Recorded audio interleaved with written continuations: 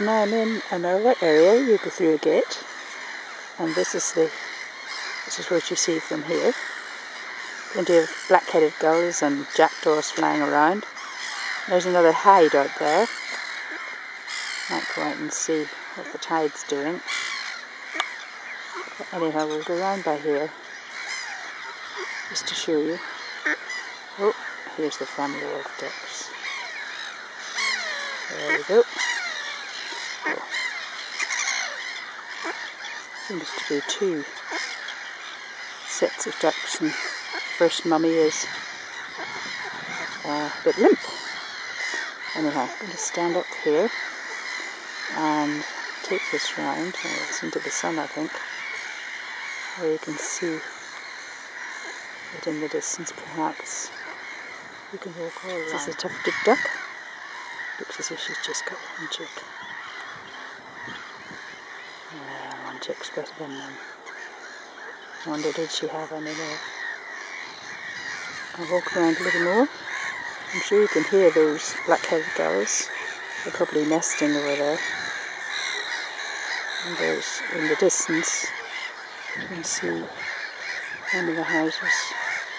I'll just show you the male mallard duck. We normally see um, lovely green head, and you can see he's molting. he hasn't fully molted. When he dances, he looks quite like the female. Because, as I think I might have said to you, ducks, geese, and swans they molt for two months, and when this happens, they kind of just come a little bit further around and you can see all the black-headed gulls. There's some moorhens amongst them. Hopefully you can see those. And zoom in a little bit more amongst them. And uh, there's certainly jackdaws. And there's some jackdaws.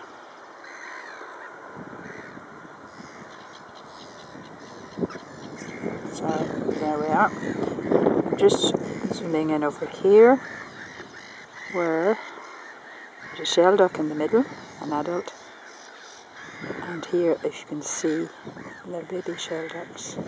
They're quite getting really uh, teenagers nearly now.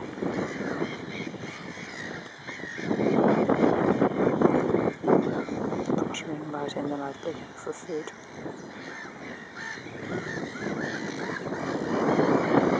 And when the time comes, most of the shelduck adults will uh, fly away and the babies probably will be left and they're usually left with an adult called an auntie and uh, she will look after them, maybe two she will look after so they're going to go into creches they're looked after I'm walking up to the hide and I'll just stop this until I get inside and then we'll see what's on the other side. Feeling that the tide is out, we won't see much at all. Well, the tide is out, so we're not really going to see any, but I just thought I'd give you a bit of a view of. And that hill away over there is Newtownards, which we've gone, I've gone through to get here, and that tower is called Scrabo Tower. Yeah, when the tide comes in here, it comes in very quickly. One minute it's here, one minute it's not. This is known as the Ards Peninsula. There are some gulls sitting over here. And to my left, what I showed you just prior to this, uh, there's a wind. There's window. I've come to. I've come to the window to the right. I'm going to photograph into the sun, so this may not be too good and this is the other lake, another lake. There's plenty more um, black-headed gulls squeaking away. There's two swans, mute swans. It is a lovely place.